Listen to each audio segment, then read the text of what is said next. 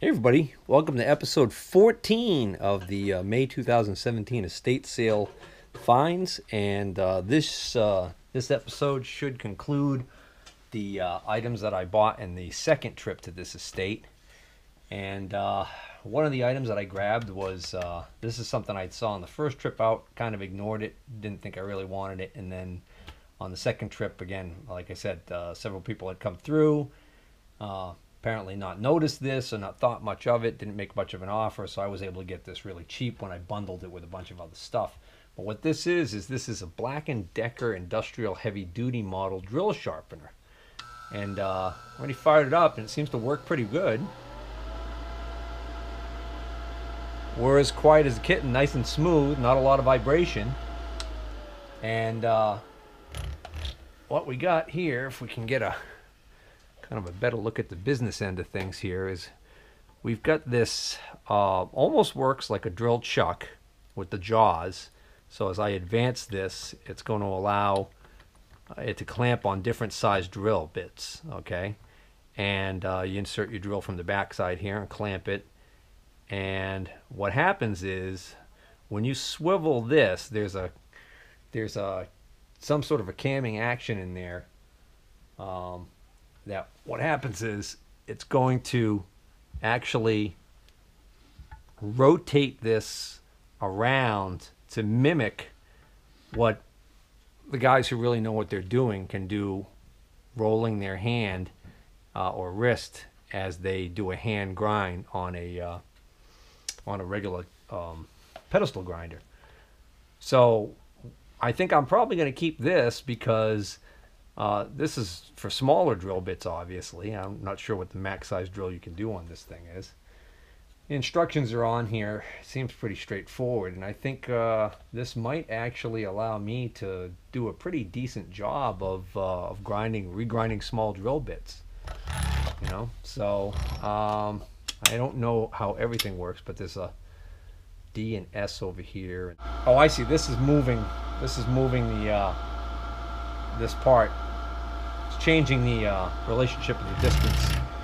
So I'll have to read up on it, get the instructions and everything. But I'm not going to waste time with that here. This is just about the, the, the, show and tell of what I picked up. So if anybody has one of these and they've used it before and has any, uh, I'm just kind of curious whether or not they find it a useful tool or whether or not it's uh, just one of these, uh, you know, kind of drill sharpening things that uh, went the way of the dodo bird this is a box of junk that I just kind of picked up real quick and uh, saw not much of interest in it, but kind of grabbed it.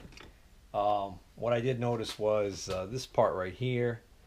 There is a uh, little indicator on here, but more importantly, this part right here, because the color of the metal and everything on it, I think this may have been part of the uh, that Taylor Hobson profilometer or, or uh, I forget what I called it now, but that Taylor Hobson unit that was there, uh, Taylor Hobson Talysurf.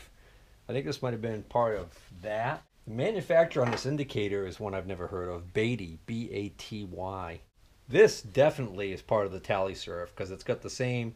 Remember that V block? If you guys have watched all of these, that V block I showed quite a while back had the same kind of mount. So this would have been definitely for the uh, to go in the tracks on the uh, table for the Talysurf. And uh, this indicator actually has an interesting little uh, pedigree. This one is a John Bull, British Indicators Limited, made in England. So that's kind of neat.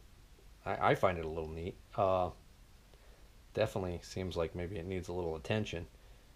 But that's a John Bull dial indicator.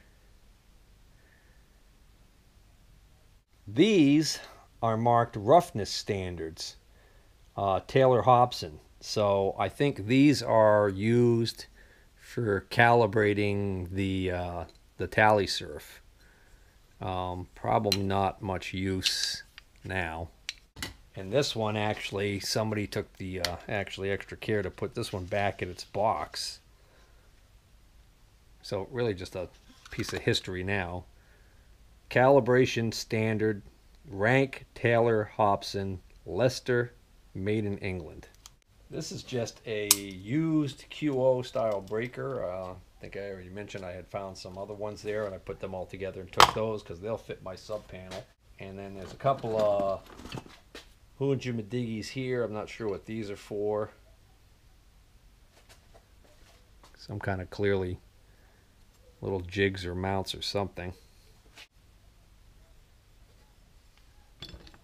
These look like indicator backs. Here's another one of these Baty indicators. This one's sticky, but it, it works. And they're small too. You notice how small they are? It's about the size of a half dollar. Here are some sort of items that look like they plug into somewhere to maybe calibrate something. They've got numbers on the back, and if you lift up these little doors, you've got little set screws to make some sort of little trimmer adjustment. And uh, these might have plugged into maybe the back of one of the electronic, uh, the electrical boxes that were going, that went with that Talysurf. There's just a plug, a funky one. A couple of rollers. A cord that goes from that type of deep D-type pin plug there to, oh, well, it looks like almost like a Cat 5. I wonder what that went to. This is a three and a half millimeter mono to three and a half millimeter mono jumper. This little box here, which has several weird little pieces that I think also probably were Talysurf parts. Oh yeah, definitely. Matter of fact, that's even got the uh, that's got the little TH Taylor Hobson logo right on it. So these were definitely extra pieces for the Talysurf.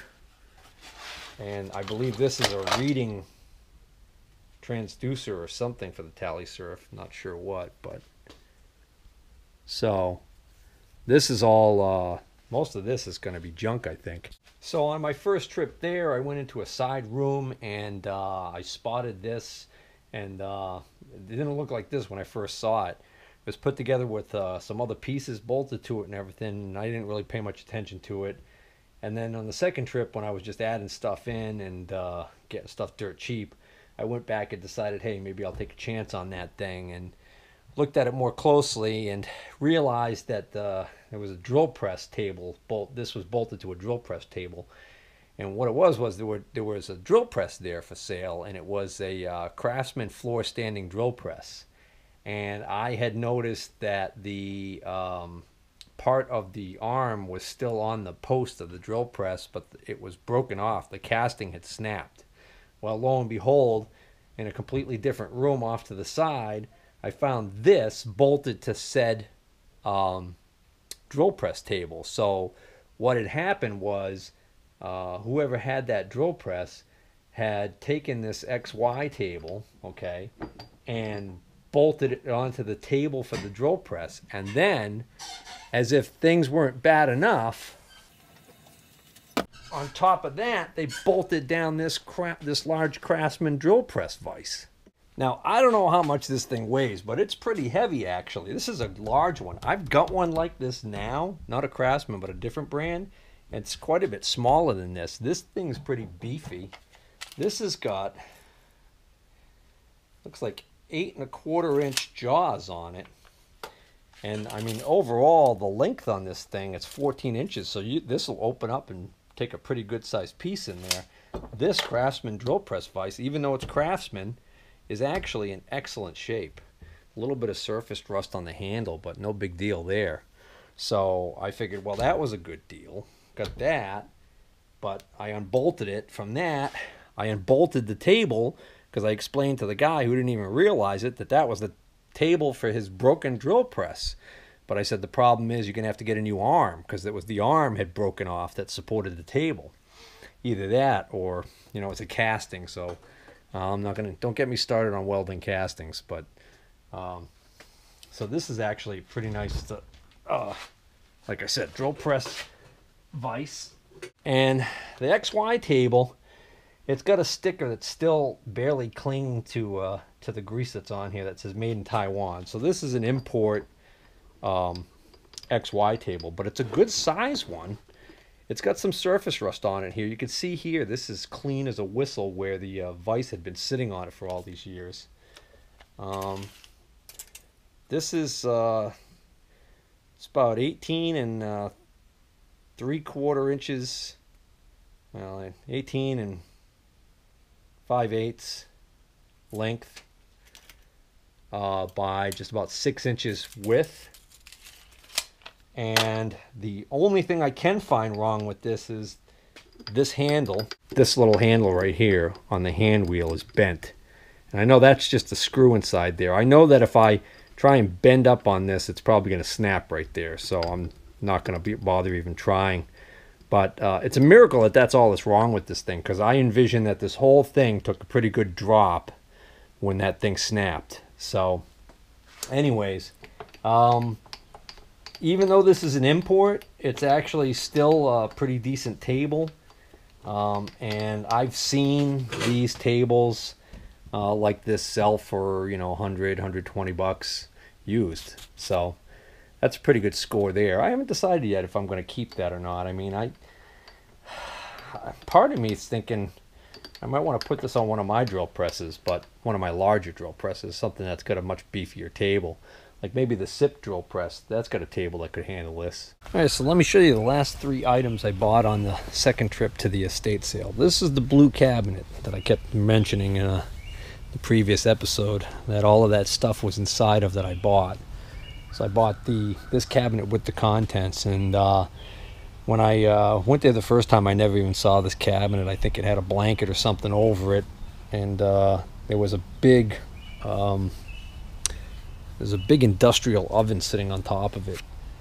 So, anyways, I ended up uh, taking a look at the cabinet, saw the stuff inside, was interested in it, and then I noticed the maker's name on the cabinet. And it turns out this is a Stanley Vidmar cabinet. And uh, those of you who don't know, uh, Vidmar is a uh, industrial line of cabinets and um, toolboxes and things like that um, that uh, are very expensive and they're very sturdy. This and this thing lives up to its name. This thing is uh, I could stand on top of this thing no problem. So I weigh about 215 pounds these days. You can see that thing is rock solid. Now, if that had slide out drawers on it, that cabinet would be worth probably even used somewhere around four, six, seven hundred dollars, somewhere in that range. But this particular cabinet, all it has inside is uh, some shelves. So that's all it's inside are uh, some shelves. And uh, I was pleased to see that in addition to the to the uh, shelves, the other magnetic latch, which goes down the bottom there, was inside. This is the original handle. Somebody had removed the handle and put this block of wood on there for some reason and I have absolutely no idea why. But I'll be able to take that block of wood off and put the original handle back on. It is missing one of the plastic end caps. Uh, no key, so I'll have to change out the change out the mechanism if I want to uh, um, if I want it to lock. And I, I think I'm actually going to sell this because it's um, it, it, it's a really nice storage cabinet. And I just don't think I really need something like this right now down in the shop. And I may kick myself in the head for selling it later. But right now, as you can see, I have no room for it. So it's sitting out here in the outdoor uh, shed in the box tent deal. So I certainly don't want it sitting out here come winter. Uh, so that's one of the three items. so this is uh, one of the other items that I picked up and uh, I saw this on the first trip. It was sitting on top of a desk and sitting on top of it was a small TV set. and uh, so that's what job it had been doing. But what this is is a cast iron surface plate. Uh, it looks like heck right now because what I did when I got it here uh, and I I put it here in the in the shed, that the tent. Uh, I took a uh, can of spray grease and I sprayed a film of grease all over the top of it to help uh, keep flash rust from getting all over it. Um, there's a couple footprints on it because the kids, not once, but twice, managed to step on it and get grease all over their sneakers. So you'd think, you know, and, and and I could tell from the footprints it was the same kid both times. And no, he didn't do it on you know the two times on one occasion. No, he did it once. I told him not to do it again, and he did it again. Kids. Well, anyways. So I gotta get that. I gotta find a spot for that down in the shop and get that down there. I'm gonna be keeping that. Um, so I got that for 20 bucks. So I couldn't couldn't pass up on uh, a deal on on that. So I don't have a big granite surface plate or anything. So this will be my surface plate. And I've looked all over it and can't find any makers' names or anything. Um, but that style with those handles on the side like that, I've seen them. Um, so I guess I don't have much more to say about that. Well, it's 24 inches by 18 inches. So uh, the way I came to spend 20 bucks on that is uh, I told the guy I'd be interested in buying that only if he'd be willing to sell it to me for scrap. Then we had a long conversation about scrap that involved me making some phone calls because he tried to tell me that uh, he gets I think he said 35 or 38 cents a pound for all his scrap. I said, not for steel. I said, that's by gross ton. So uh, I said, you'd be lucky to get 8 cents a pound right now for that. Oh, no, no, no. I, I didn't know what I was talking about. So I called my scrap yard, had him tell me on the speakerphone how much it was per gross ton. And then I whipped out my uh, phone did some math, showed him.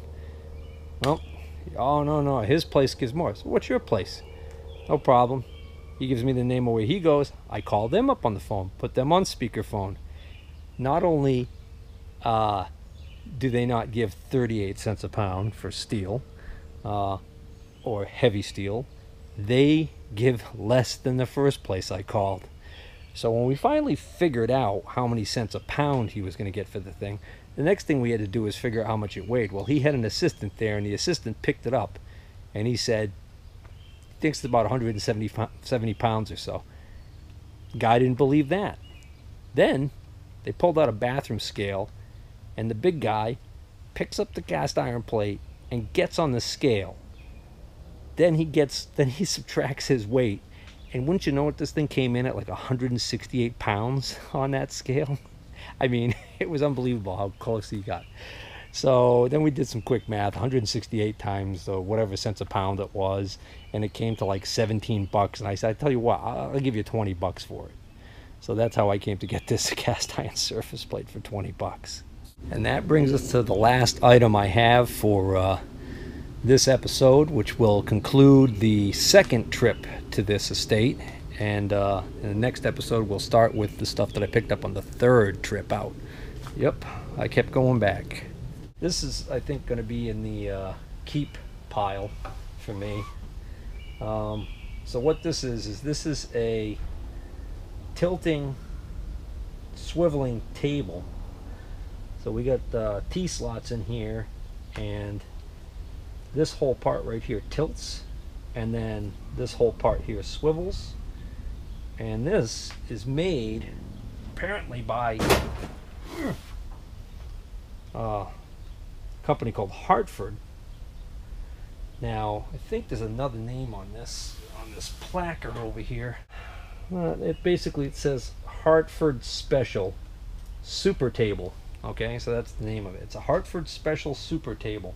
From what I can look up online, it's a uh, obsolete or shouldn't say obsolete, but it's an antiquated uh, piece, a company that is either either no longer in business or has mutated into some other company or been swallowed up by some other company.